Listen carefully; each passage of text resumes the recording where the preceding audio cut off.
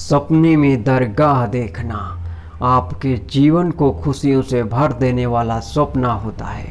परंतु आप इसे नज़रअंदाज करके बहुत बड़ी गलती करते हैं, क्योंकि मिलने वाले फल आपको सुख नहीं दे पाते। आप उन फलों से वंचित रह जाते हैं। जब भाग्य आपके लिए दरवाजे खोलती है तो आप उन दरवाज़ों को नज़रअंदाज कर देते हैं। और आप अपने ही दिनचर्या में ज्यों के त्यों लगे रहते हैं। जब भी भाग्य विधाता हमें अच्छे दिन और अच्छे अवसर प्रदान करता है, तब हमें ऐसे अवसरों का लाभ उठाना चाहिए।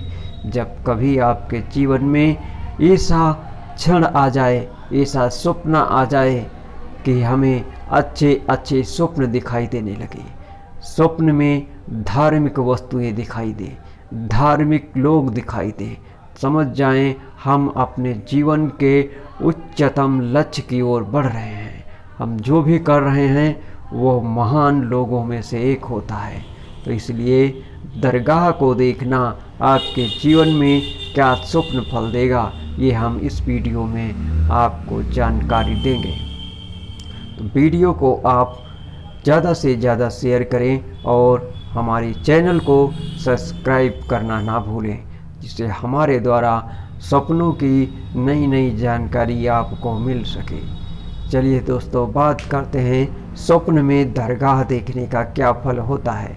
अगर आपने अपने जीवन में कभी भी दरगाह का सपना देखा है, या उसके अंदर आप नमाज़ पढ़ने गए हैं, या माथा टेकने गए हैं, या उसको स्वप्न में दर्शन कर रहे हैं तो समझ जाएँ, आप ऐसे रास्ते पर हैं, जहाँ हर इंसान चलने के लिए काफ़ी मेहनत और परिश्रम करने के बाद पहुँचता है, और आप उस रास्ते पर आसानी से आ चुके हैं। तो ऐसे अवसर का लाभ आप कदापि ना छोड़ें और इसका लाभ उठाएँ, और आप जब भी ऐसे अवसर का लाभ उठाते हैं तो जल्द ही आप धनवान और अमीर बन जाते हैं।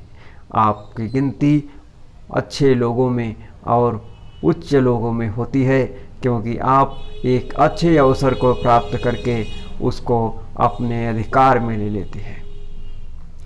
स्वप्न में दरगाह दिखने का मतलब होता है, आपकी समस्याओं का अंत और आपकी प्रगति का उदय होता है।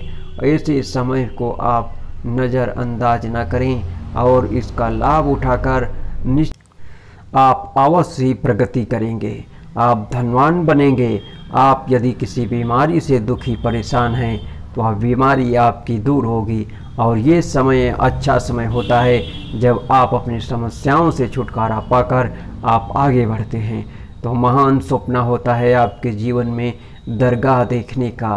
तो हमारे द्वारा दी गई जानकारी आपको कैसी लगी, आप वीडियो को लाइक करना ना भूलें।